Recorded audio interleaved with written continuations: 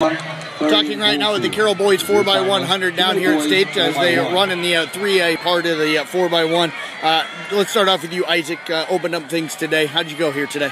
Uh, we did all right. I mean, we did the best we could with what we had, but it just wasn't our best performance. What what went wrong today? Uh, honestly, I'm not really sure. We just, Western Dubuque leading Uh, off I with wasn't Dolphin. really- They'll run Abby I have Meyer no on idea. the It just wasn't a good run. Just just one of those days. Is that what it was? It was just an off day. Uh, talk about the experience then of being down here. Oh, it's just a great experience. I mean, the atmosphere atmosphere here is insane. The crowd cheering for you, just screaming. It's just gets you In lane pumped up and psyched to Clary run, and then you go out there and do your Sam. best, and it just feels amazing no matter how you place. Cascade with You gonna be happy Meyer. coming out of the 2A state this year with all the things the you've been in? Definitely. Monticello, your winner. Just get, just having this opportunity just to run here 172.6. is just amazing. Well, Isaac, I tell you what, I appreciate all the time you've always given us. So thank you very much. Let's move on now to Nathan. Nathan Simons uh, joining us here today. Nathan, how did you feel here today? I felt good being down here, you know, for the first time Goldfield uh, running second. in high school. You know, it, it was it's been a good time with all the with all the guys, and uh, I really enjoyed the experience. What was it like running here? Uh, how did you feel like you ran? Cascade. Um, I feel like I had a pretty good run, but True uh, our handoff wasn't very well. Uh, we had, uh, you know, we were in a pretty tough heat. Uh, you know, And it's got in with a with a decent time. Uh, you know, it just it wasn't a very good day for us. What were you ta- What will you take away from today? Uh, that I want to get back down here next year, bring more guys down, and uh, you know, do a heck of a lot better than what I uh, we did today. How do you How do you go about doing that?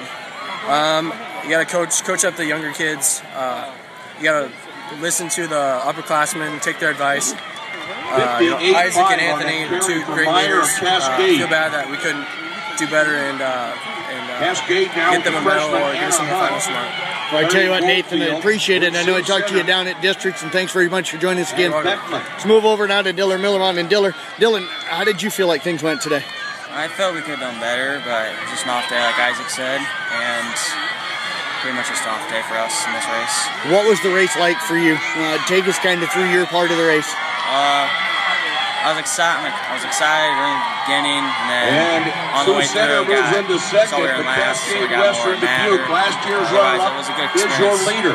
What What's it been like for you down here? Uh, it's been real fun Western hanging out with all the seniors and everyone. Um, With Holly it's Hunt. a great environment down here with all the whole crowd cheering you on. What are you looking forward to in the Dubuque, future for track for last you? Year, they Uh, bring to back come down here my Meyer next three and years Hunt. for to qualify for something and maybe win And state. Holly. Hunt.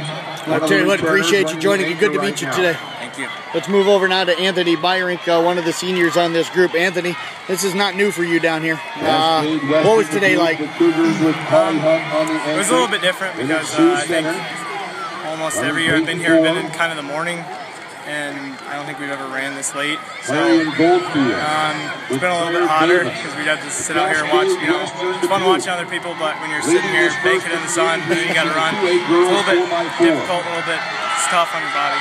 How'd you get yourself ready here today?